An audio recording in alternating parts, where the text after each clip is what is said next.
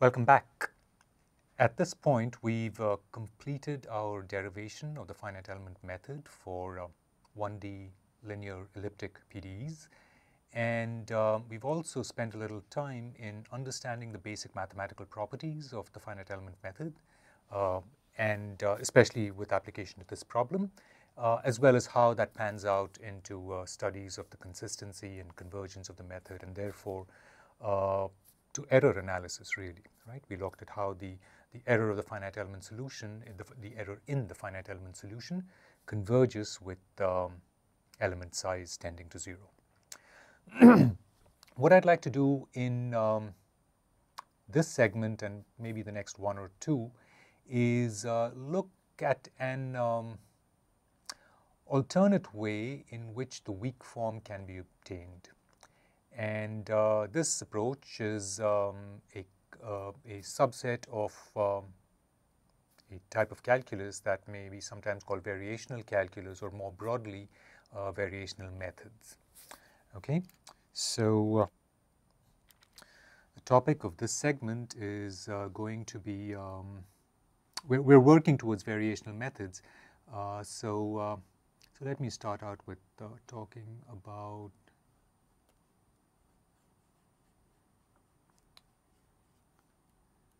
uh, variational methods. Okay.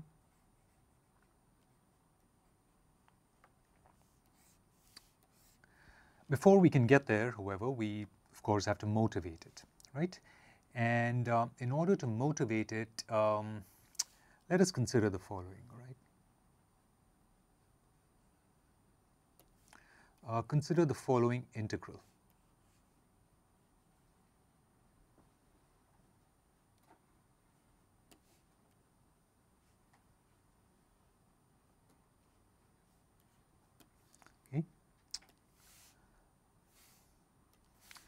Consider, um, let me call this um, i. Function uh, i depending on u okay? Written in this form. And um, I'm going to write it as I'm going to define it here. It is the integral over uh, the domain of the following quantity 1 half E A u comma x the whole square dx. All right. Now, uh, when you stare at this integral, if you um, remind yourself of uh, one-dimensional linearized elasticity, you will recognize E to be the modulus, right? And you will recognize u comma x, right, that quantity to be the strain. Okay? And then when you stare at this integral, you would recognize it to be the the strain energy, right?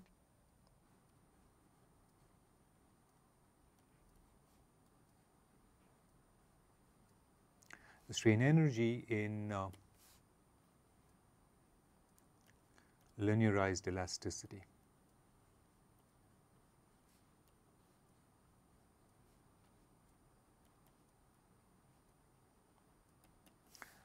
The strain energy in linearized elasticity, of course, in 1D. Right? Um, so, so this is all uh, well and good. Now, what one can do is, is the following. So we, we, we make this recognition first and then um, the, you know, once we recognize that there is this notion of a strain energy, we can ask ourselves, well, what does it do for elasticity problems, right? Um, of course, it gives us a notion of, of, the, of the energy stored in the elasticity problem, uh, but it also allows us to construct a uh, different kind of quantity. Okay? Um, it allows us to construct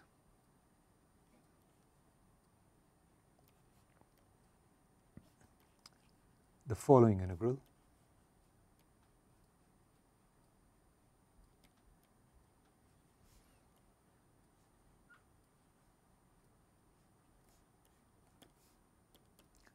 Okay. Um, now, I'm, now I'm going to start putting down the kind of notation that we need for the development ahead of us, right? Uh, it allows us to consider the following uh, integral or to construct the following integral, which I'm going to denote uh, as pi. It also depends upon u, right? Um, and in the context of elasticity, this is the, well, this is just the displacement field, right? U is the displacement field. And pi of u I'm now going to define uh, by a few terms, by using a few terms. The first is going to be the same uh, term that we wrote above, the integral we wrote above, the uh, strain energy.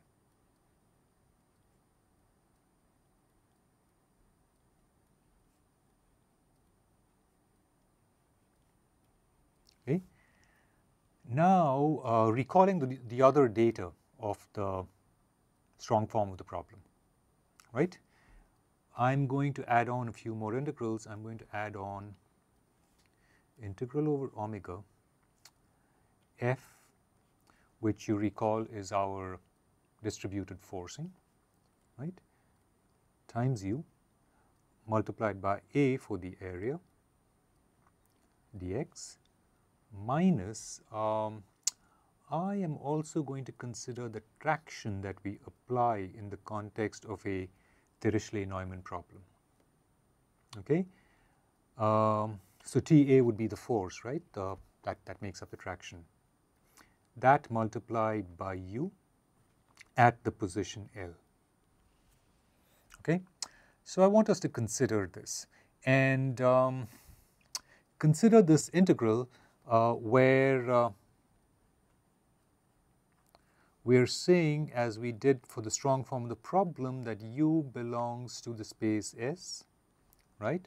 Uh, our usual uh, space of functions for the um, for the exact solution, right? The, the space of, function, of functions from, from which we draw the exact solution, right? So u belongs to S, uh, which now consists of uh, all functions uh, u such that uh, we're thinking we're thinking of this in the context of our Dirichlet-Neumann problem, right? So we're thinking of this in the context uh, of the Dirichlet condition, u at 0 equals uh, u naught. Okay, all right, um, and uh, f t and uh, the constitutive relation that we are familiar with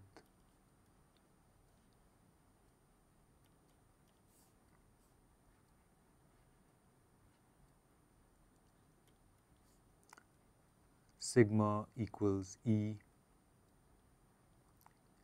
u comma x, right? All of these are given.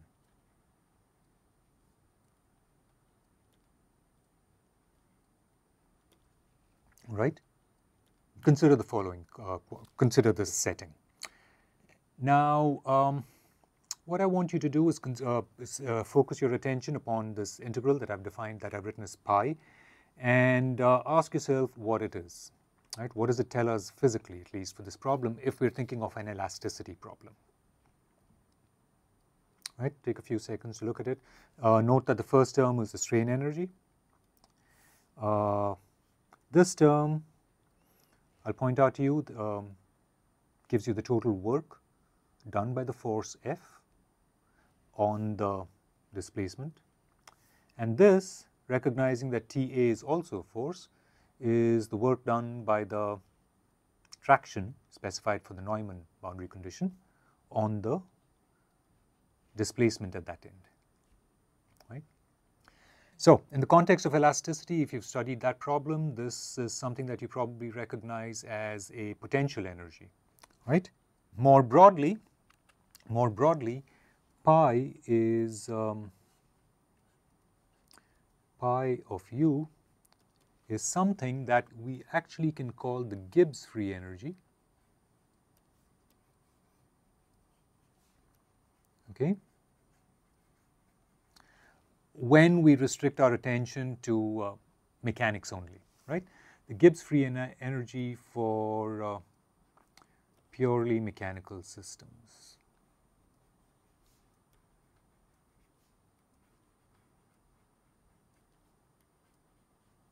or purely mechanical problems. All right. Um, also called, like I said earlier, uh, the potential energy in the context of uh, mechanics.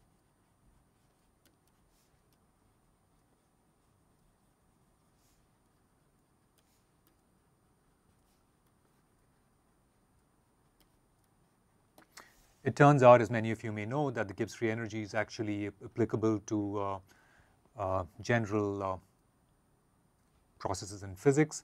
It's typical to have a contribution from chemistry, maybe from, from, from uh, temperature and so on, also in the Gibbs free energy.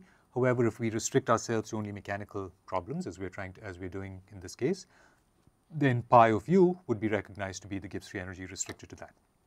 Okay. Um, all right, so that, that, that's something to note.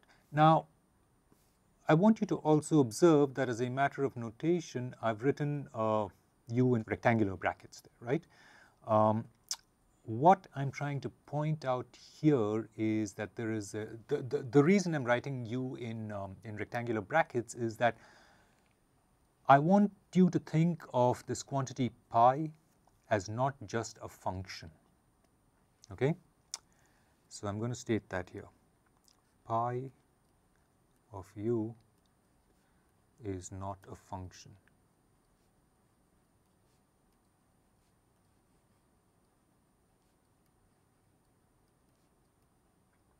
Okay.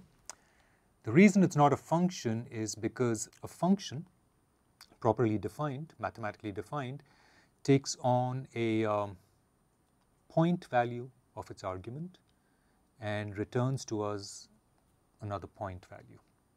Okay? Uh, or more typically, uh, a, a, function is a mapping from um, typically from real numbers into real numbers. Okay? So, so let, let me just, just, just state this. So, um, so supposing we do indeed have a function g of x. Okay? This may typically be uh, a mapping from the space of real numbers, right, from which you may take x, onto real numbers, right? And graphically, this can be represented as follows.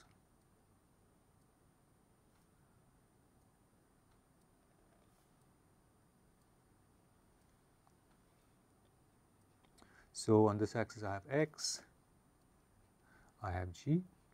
And in order to get a particular value of g, you would go on to the horizontal axis, choose a particular value of x, and say, all right, what is the value of g? Maybe it is that one. Uh, you take another value of x, you pick your value of g, it's that, right? Maybe this is this, and the process goes on, right? Now, the function that we have in mind is what we get by connecting all of these dots.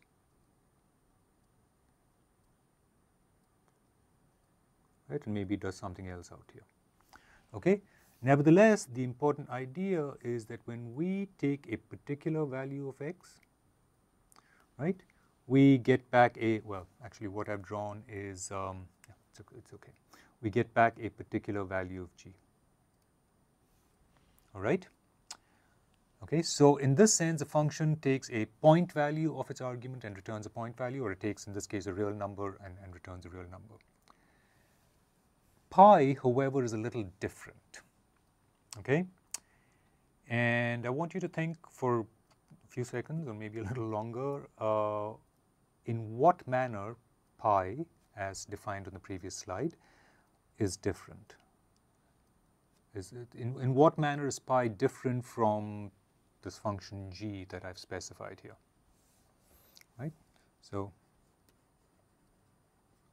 how is pi of u different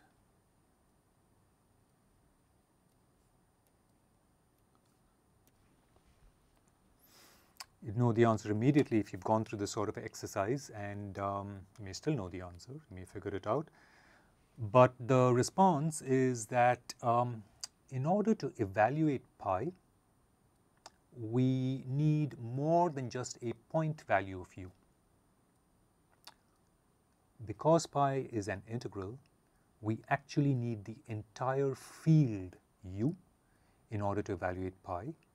And then, in fact, when we supply the entire field u defined on our domain omega, we get back a real number for pi. Okay? So, let me state that here. Pi of u is a mapping of a field, right, a field u, which is a u is properly a function of x, right? Because you, you, you pick a particular value on your domain x and you get a particular value for the displacement, right? You get back a point value for the displacement, right? You get back a real number for the displacement, right? So that's the nature of u. u is a function. However, pi is a mapping of that entire field u, okay, uh, to um, the real numbers.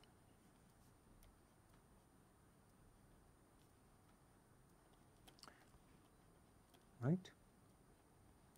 And why to real numbers? Because we have recognized pi to be an energy of sorts. It's a free energy or a potential energy, which after all is a scalar, right? It's a number, right? It gives us a real number. Mathematically stated, we have the following. Pi of u is a mapping from something that tells us where we draw u from. Where do we draw u from? Right, we draw it from our function space S. Okay, so pi is a mapping from S to the real numbers. Okay.